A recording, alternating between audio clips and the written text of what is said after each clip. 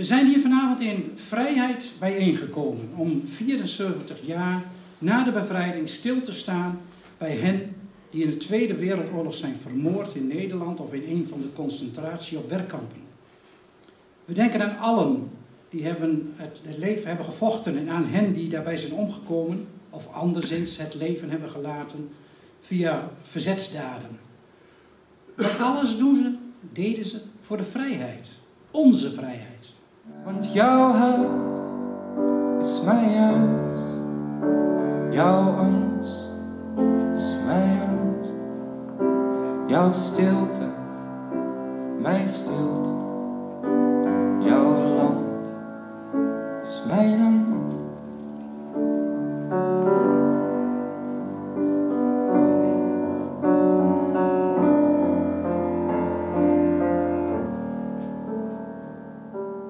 Alle macht kwam vanaf dat moment te liggen bij die ongekozen, zou je ook in dit verband moeten zeggen, ongekozen burgemeester Zichterman.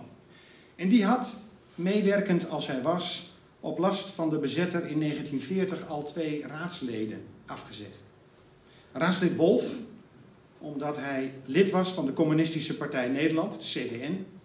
En raadslid Cohen van de Partij Gemeentebelang, omdat hij Jood was. Allebei hebben ze de oorlog niet overleefd. Ze werden vermoord. Hoe mogen we samenleven in een land waar alle doelgroepen een plek verdienen en nodig hebben in onze maatschappij? Hoe kunnen we tot een maatschappelijk gesprek komen? Twee belangrijke vragen die centraal stonden tijdens het project waar leerlingen van CSG Nordic mee bezig zijn geweest. Het programma begon met een uh, korte energizer en daarna gingen we verder met real speed daten.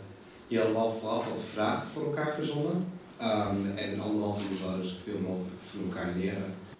Op basis van de gesprekken en de creatieve opdracht hebben we gepraat over hoe wij samen willen leven en hoe je mensen uit een andere cultuur kunt opvangen. Ook hebben we nagedacht over wat we met elkaar zouden willen zien in het onderwijs.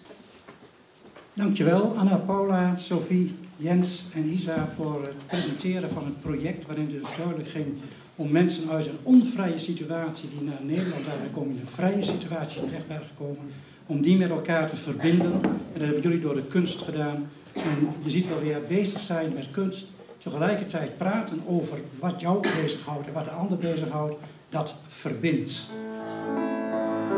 Voor wie zich in een droom. Waar die droom de waarheid tart. Klinkt soms zijn lach net iets te hard.